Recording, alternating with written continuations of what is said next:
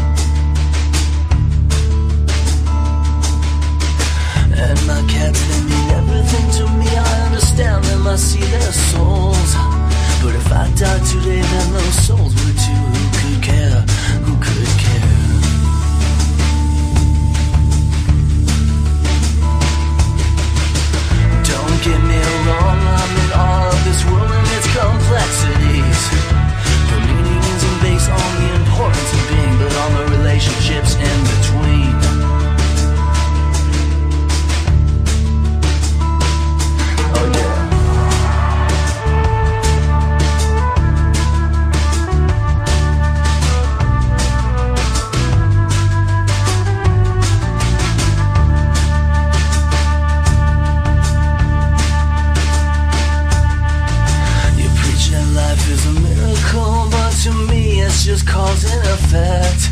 And if I don't produce it, then someone